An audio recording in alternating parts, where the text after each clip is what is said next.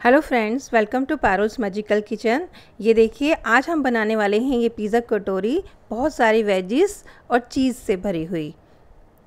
लग रही है ना कितनी अच्छी? तो चलिए, आज हम बनाते हैं पिज़्ज़ा कटोरी, और वो भी कढ़ाई में। चलिए, बनाना स्टार्ट करते हैं। सबसे पहले हम अपनी एक कढ़ाई लेंगे, इसमें मैंने स्टैंड रख दिया है और इसको कवर कर दिया है मीडियम फ्लेम पर 10 मिनट के लिए प्रीहीट होने के लिए। अब मैंने ये ली है मफ़िन ट्रे और साथ में मैंने लिए हैं यहाँ पर ब्रेड ये वाइट ब्रेड है, इसके मैंने कॉर्नर्स काट दिए हैं और इसको इस तरह से कटोरी की शेप में अपने मफ़िन ट्रे में हम लगा देंगे। मफ़िन ट्रे को मैंने पहले थोड़े से ऑयल से ग्रीस कर लिया है ताकि जो हमारी ब्रेड है वो उसमें चिपके नहीं। ये मैंने सब में इस तरह से कटोरी बना ली है। अब हम लेंगे अपनी वेजेस सब्ज़ियाँ आपको जो पसंद हो आप ले सकते हैं। ये मैंने यहाँ पर लिए फ़ाइन चॉप की हुई, एक मीडियम साइज़ की प्याज, एक मीडियम साइज़ की ही मैंने ली है कैप्सिकम इसको भी फ़ाइन चॉप कर लिया है।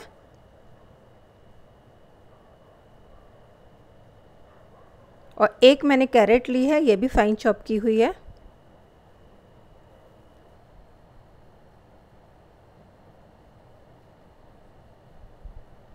मैंने यहाँ पर लिया है एक टेबल स्पून म्योनी म्योनी बिल्कुल ऑप्शनल है, आप चाहें तो ना डालें, लेकिन इसका टेस्ट बहुत ही अच्छा आएगा। एक टेबलस्पून मैंने ली है पिज़्ज़ा सॉस एक टीस्पून रेड चिली फ्लेक्स लिए हैं यहाँ पर मैंने। और ओरिगेनो लिया है मैंने एक टीस्पून और सॉल्ट सॉल्ट थोड़ा कम ही डालें, क्योंकि पिज़्ज़ा सॉस में भी सॉल्ट है और चीज़ जो हम डालेंगे, उसमें भी सॉल्ट होता है। सबको बहुत अच्छे से मिक्स कर लेंगे। चलिए अब हम अपनी कटोरियाँ लेते हैं छोटी छोटी इनमें हम पहले साइड्स में अच्छे से थोड़ी थोड़ी पिज़्ज़ा सॉस लगा लेंगे।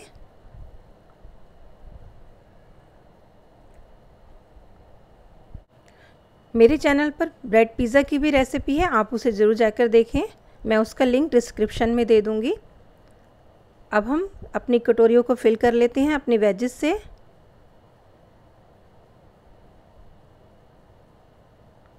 बहुत ही ज़्यादा टेस्टी बनती है और सिर्फ़ 15 मिनट्स में ही बन जाती है। आप बना के ज़रूर ट्राई करके देखें। सबको मैंने फिल कर लिया है अपनी कटोरियों को। अब मैं इनके ऊपर डालूँगी चीज़ ये चीज़ मैंने ग्रेट किया हुआ है। पिज़्ज़ा के लिए मैंने यहाँ पर लिया है मोजरेला चीज़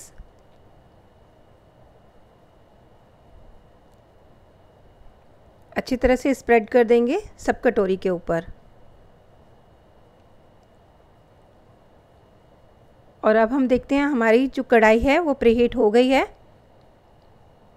इसमें हम अपनी ये ट्रे रख देंगे और लो टू मीडियम फ्लेम पर हम इनको 15 मिनट्स के लिए बेक होने देंगे। 15 मिनट्स हो गए हैं, देख लेते हैं हमारी पिज़्ज़ा कटोरी कैसी बनी है।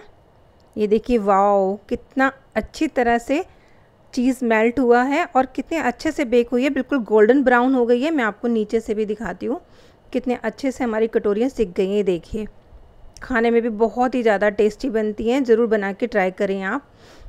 और अगर आपको मेरी ये रेसिपी पसंद आती है तो वीडियो को लाइक ज़रूर कीजिएगा, ज़्यादा से ज़्यादा शेयर कीजिएगा और चैनल को सब्सक्राइब कीजिएगा। Thanks for watching.